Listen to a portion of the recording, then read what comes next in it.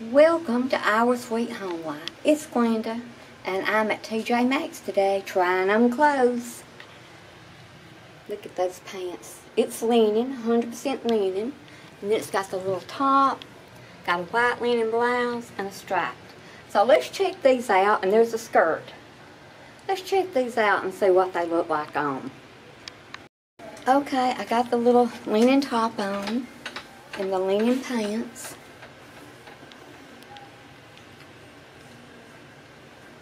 What do y'all think? I kind of like it. Now let me try the skirt on. Okay, there is the skirt. Which one y'all like the best, the skirt or the pants? Let me know in the comments. I'm undecided.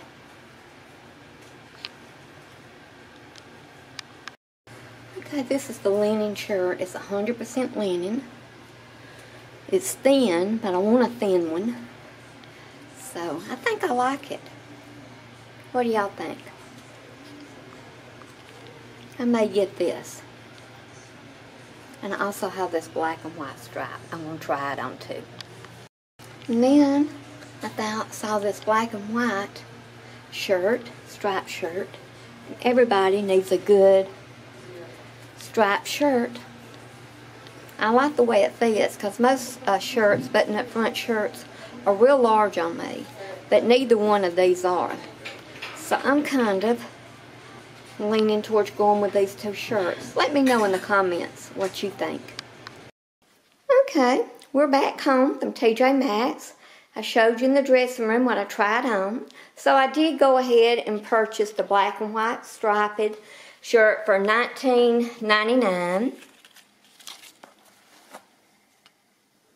I really like it. It fit well. It looked really lovely with the black pants I had on.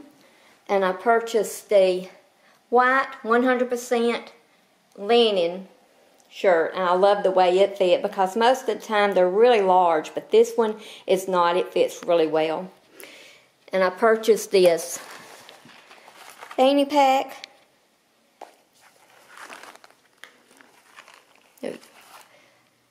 for $9.99. No, I'm sorry, $14.99. I purchased the hat for this summer for $12.99. And then I purchased this delicious candy for $6.99. So that was my haul for a total of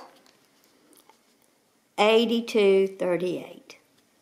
So thank you for watching our sweet home life today and hope you enjoyed it. And we'll see you next time. You never know where Mojo and Glenda's going to go. Be watching out for us. Bye.